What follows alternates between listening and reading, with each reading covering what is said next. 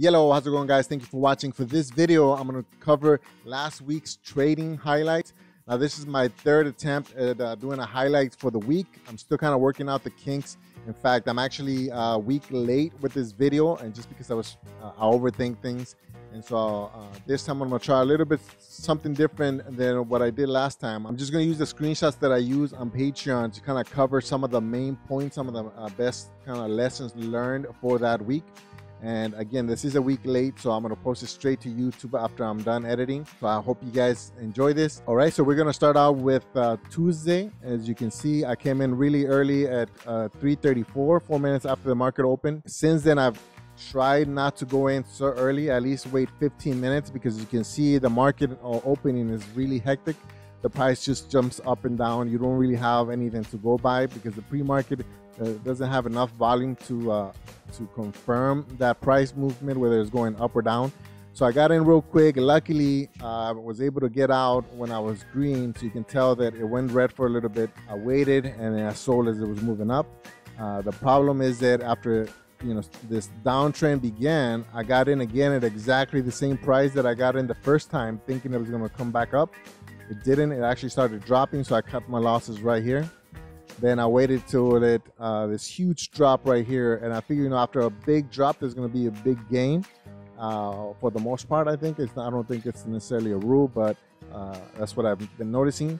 So then I went in right at the bottom, which is the perfect entry. But unfortunately, I got a little bit spooked when I saw that red, and so I saw the price slow down, and I got out where I could easily um, kept going up to maybe even the point that I got out on the second time so that would have been a, a, lot better of a gain. But anyways uh, you know hindsight is 2020 so uh, this one right here the mistake that i made was that i wait uh, i didn't wait long enough to see a clear uptrend when i got in on this second time. Yeah and so that's the three trades that i did with cgc right there. Two wins one loss. And then we're to move on to sqq which uh, i will kind of avoided trading for a little while uh, but I saw it. I saw it uptrending. I waited till it kind of um, showed me some higher lows. So I got in right after it passed that first resistance, uh, which it did go up, and I could have easily sold up here, but I think I got greedy and I wanted to, uh, wanted to see it go higher. Uh, it didn't. It just dropped big and be. It did go red for a little bit, and I think instead of um, instead of just holding on and uh, you know, obviously I didn't want it to go any. I didn't want to go red after being green for a while, so I just sold uh, it did go below the point that I got in and eventually just continued to go up. What was it, like nine, almost ten dollars. But I wouldn't have stayed in the market that long. Maybe I could have stayed to, to here, but it was just uh, you know right now as I'm learning, I'm just trying to get in and out, not as fast as I can, but as safe as I can.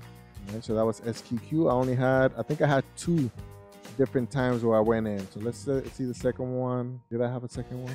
Yeah, right here. So as you can see, the second time was a the exact same point where I got in. So that's two two stocks where by pure coincidence I got in around the same time. This time, again, I bought it. Uh, it started moving up, so I bought it right at the bottom.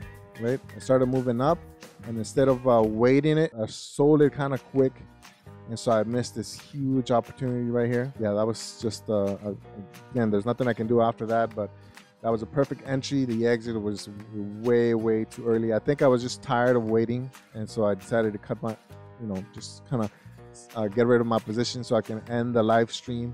And so later on in the day, it just continued to climb. Uh, so that has to do more with patience than anything else. I was pretty active on Macy's on this day. I think I came in and out a bunch of times, including towards the end of the day. So you can see I went in and I lost on that first one, and then I waited for it to go up. Uh, I got in again somewhere around here, uh, and then I did make some money on that one. I saw it come back down, up. Uh, I got I got in on this right here, so so right now it's already two two trades. Right, I lost big on this one. I got in again, made some money on that one. Waited a little bit longer as it was moving up. I got in, but then it dropped. I didn't sell until I kept moving up. So that's another one that I made money on. And towards the end of the day, I kind of got overly excited. I started over trading, as you can see. Uh, I got in here, and then I made a little bit of money, but then I gave most of that away uh, when I tried to trade again right before the end of the day. So I began to chase the price and lost twice. Do not do this. Okay, so that's Macy's right there. So I gave up a lot of the gains from that day. I just done, you know, abusing a stock that was good to me earlier in the day. There's a couple more that I did that day. Nothing really that stands out. So this one, real quick, uh, scalp got in, started slowing down, so I got out for a little bit of profit right there. The next one right here, uh, uh, pretty much the same thing. I saw it. I didn't want to chase the price, so I kind of let it settle a little bit. Uh, unfortunately, I thought it was going to go up on this one, and it ended up going down. So I took a big loss, like really fast, quick loss right there. And so you can see that's just where I kind of went over. Uh, so, anyways, this is the stuff that I put on Patreon. So I'm not gonna I'm not gonna spend too much time on that. Okay, so now we're gonna go to the next day, which is uh, Wednesday. So GE, the first time I played it, uh, I got a little bit of gains. So I saw it, it was started shooting up I try to avoid getting into that one because now I'm just chasing the price. I made that mistake a bunch of times since then, so it's not like I've learned yet, but I'm trying to. The price went down. I got in right at the bottom because of this huge, all these red candles that just kind of showed that it was going to rebound. So I got in right at the bottom. I started going back up and slowing down, and so I sold, which is perfect because it started dropping again. So I just played it that one time. So again, I got I went green on this one. As you can see, it was uptrending from the pre-market so I just kind of waited for a nice clean indicator. As you can see right here, this was a resistance. I waited for the price to come back down to that, to that resistance to become a support. I got in, nice timing. Started shooting up. And as soon as it passed that following resistance, I was kind of looking for it to start uh, moving back down. So as soon as it started slowing down, I kind of got out a little bit late because I was I was hoping that it wouldn't cross that I was hoping that that resistance from before would become a support, uh, which it didn't, and so I got out, and thankfully, you know, I got out in enough time. It did go back up uh, after that, but by then I was out. I had my profits, and I was good. To be honest, a lot of these companies, I don't know what they do. I don't know what they, they mean, but same thing. It was kind of crazy in the morning. I waited for it to kind of kind of drop and bottom out. Uh, it did touch twice. This this uh, support right here. So as soon as I saw it come back up, I got in it had trouble passing that previous resistance so i just kind of watched it and then i realized that it wasn't gonna it wasn't really gonna go back up so then i just sold right before it hit that previous support. So i did get a little bit of a gain on that one 80 cents. Uh, and again i know these numbers sound ridiculous you know, winning 20 cents 80 cents but right now i'm just trying to work the, the technique out. I'm testing a lot of things that sometimes make me lose a lot uh, relative to the account and so that was another one right there that was green. Right. And then I played Ford. With Ford, it was just really bad timing. It bottomed out over here, but then I kind of waited too long. I wasn't really tracking it until it started moving up. So I thought that, you know, it went down here and it started recovering. So I thought once it passed this point, it could potentially shoot up. So I got in at the top and it just dropped. So uh, once it passed this this previous support, I just got out for a loss and I don't think I touched it. The the following day continued to move up, but uh, it was already kind of late for that. Yeah, and then the other one that I got into on a Wednesday was Tuesday.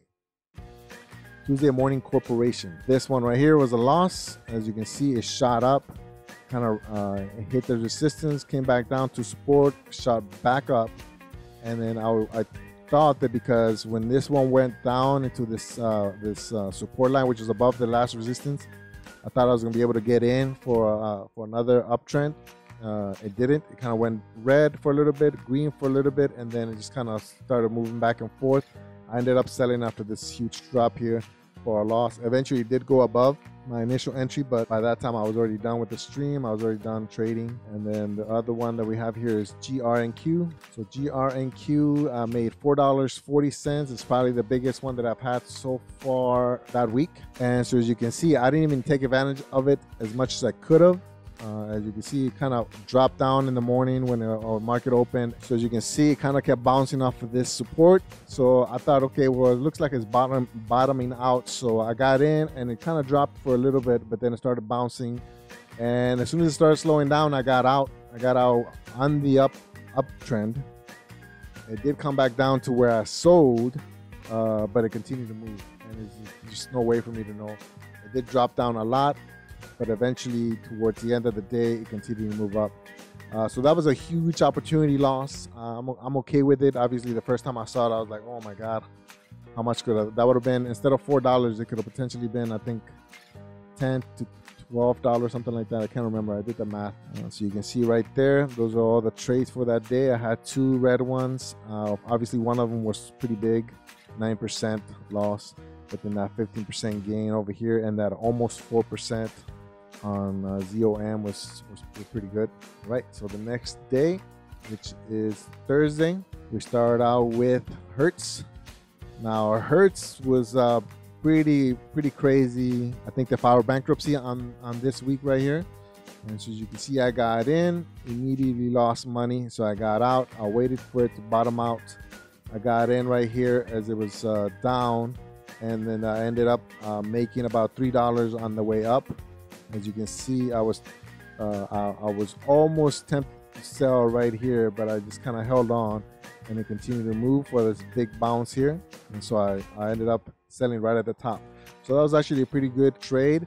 Unfortunately, I got overconfident. I tried to trade again, and I ended up losing. So you can't see the second sell because exactly this, the same spot that I sold the first time. So that you can't tell, but there's two blue lines right on this exact same price you know sometimes you try you you get lucky with one stock so you want to play it again and it's probably the wrong thing to do okay so now we're looking at uh, phase phas right here for a loss so i got in thinking that this big red drop is gonna meet uh, was going to uh, uptrend it didn't it just dropped and i ended up selling back here and then right when i sold maybe i don't know one two three four five six seven about 10 minutes later it shot up then it dropped and it shot up some more. So you can see it went up to as high as 679, somewhere on there.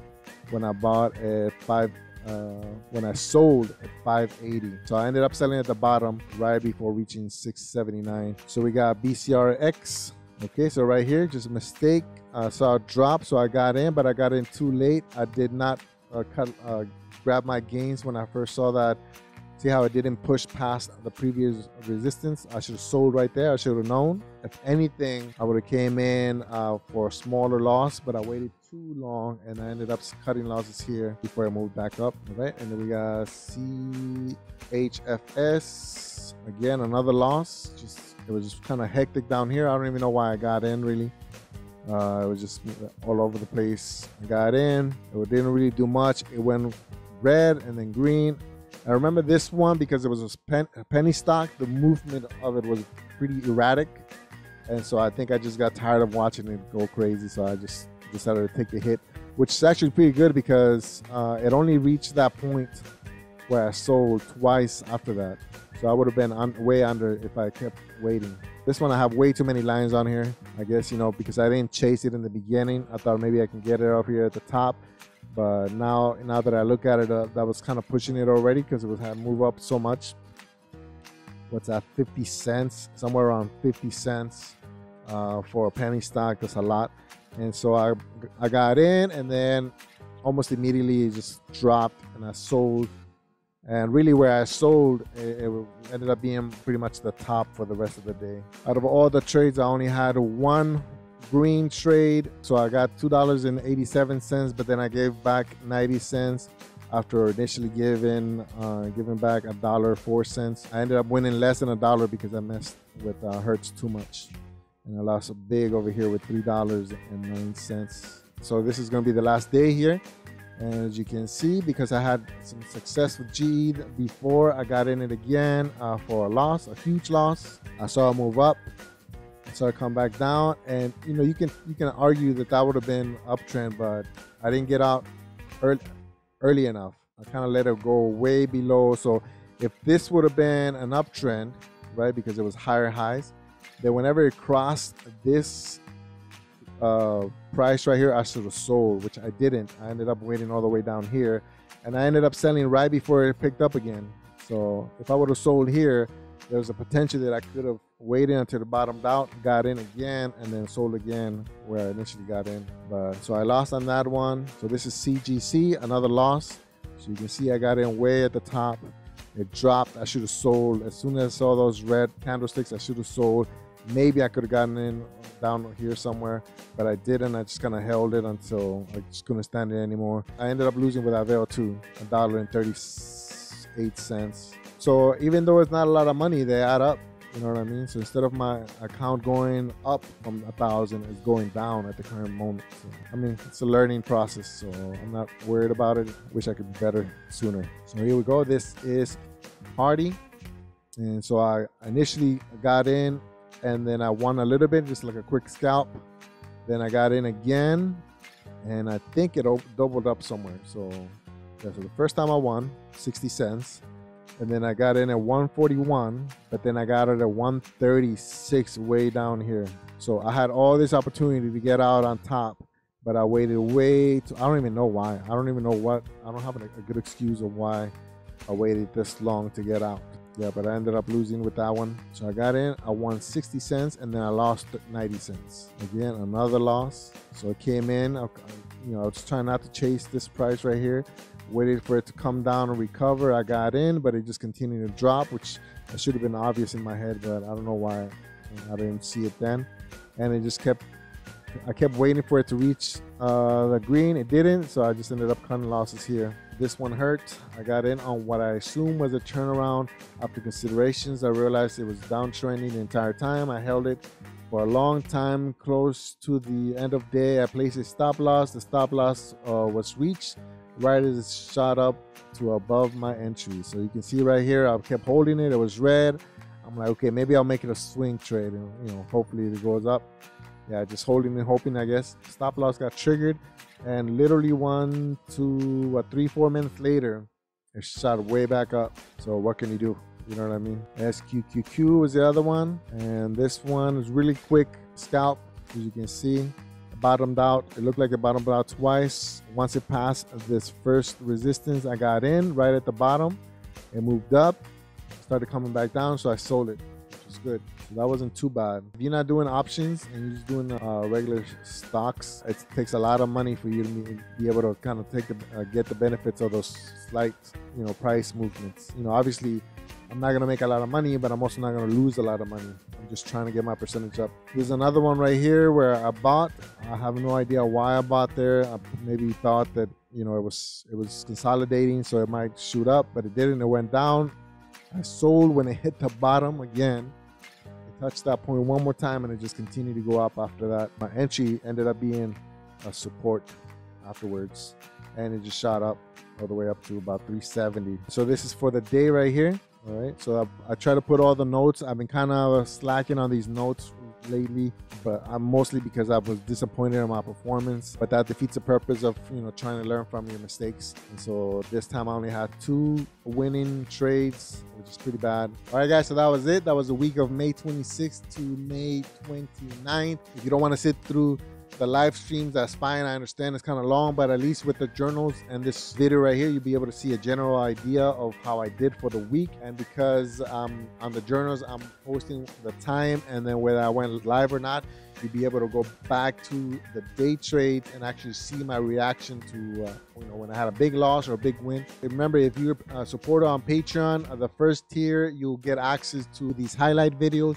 You'll also get access to the weekly uh, reviews. If you're part of the second tier, then you get access to my journal uh, and graph screenshots. If you enjoyed this video, make sure you hit that like button. If you haven't already, please subscribe to my YouTube channel. I am trying to give you guys a little bit more worth for your time. And so I'm still working on, on different things. You know, I really appreciate you guys watching and uh, I hope you enjoy this. See you guys in the next one. Bye.